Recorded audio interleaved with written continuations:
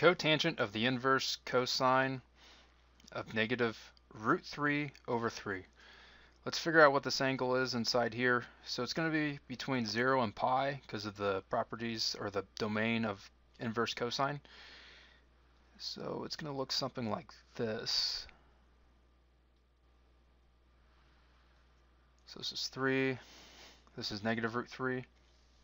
In order to find the y component, we're going to take 3 squared minus square root of, or uh, negative root 3 squared, square root of this, which is equal to root 6.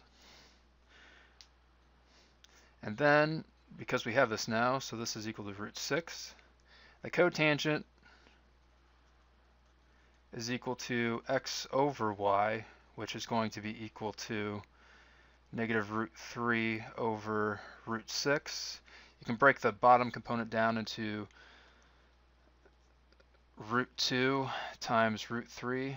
These two cancel out and you end up with negative 1 over root 2. You probably don't want that though, so you do multiply both sides by root 2 over root 2 and you end up with negative root 2 over 2.